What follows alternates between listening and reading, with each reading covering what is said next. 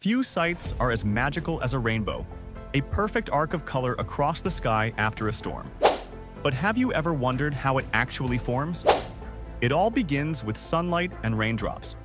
When sunlight passes through a raindrop, it bends, a process called refraction.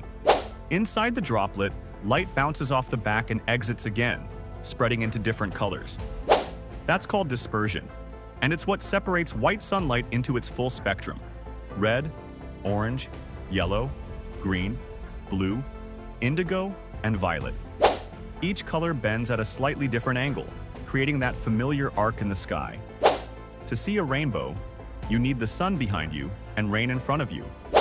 That's why they often appear just after a storm, when sunlight breaks through dark clouds. Sometimes you can even spot a double rainbow, the second one fainter and reversed, caused by an extra reflection inside the raindrops. Every rainbow you see is unique, depending on your position and the light around you. So, next time you see one, remember, it's not painted on the sky. It's light, physics, and a little bit of nature's magic working together.